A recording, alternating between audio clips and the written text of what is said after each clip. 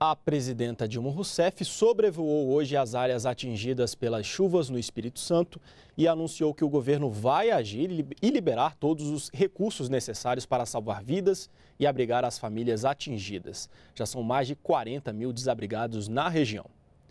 E para ajudar a população, várias medidas emergenciais já foram anunciadas, como o envio de profissionais da Força Nacional do SUS e de medicamentos e kits de emergências.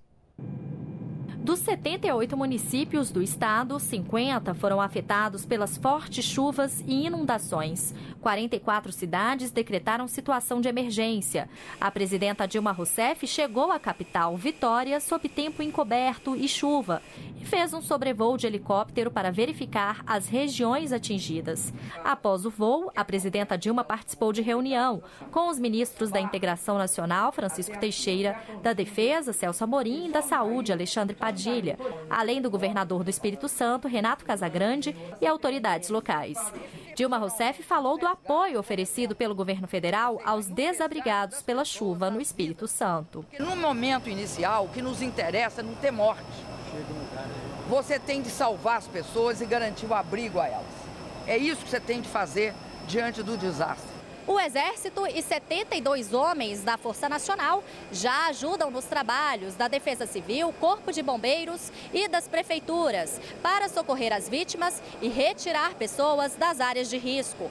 Também foram enviados ao Estado 12 mil kits de higiene e limpeza, dormitório, além de medicamentos e de 3 mil cestas básicas. A presidenta Dilma informou que já foram contratados mais de 600 milhões de reais em recursos para obras de prevenção de desastres no estado do Espírito Santo, no âmbito do PAC, o Programa de Aceleração do Crescimento, em obras de drenagem e de contenção de encostas. Tudo isso nós vamos ter de olhar com cuidado para ver que medidas nós vamos tomar. Já temos Porque se a primeira coisa que nós temos de fazer é impedir morte, a segunda coisa é recuperar as condições de vida das pessoas, que é a obra de reconstrução. Tem uma terceira que é fundamental, que é a seguinte: é você lutar para que jamais aconteça outra vez nessa escala. Nós não sabíamos que ia dar uma, uma, um desastre nessa escala. Não é previsível, mas já que aconteceu, nós agora Planejamento vamos, considerar isso. Vamos usar isso como forma de prever, planejar e impedir que volte a acontecer.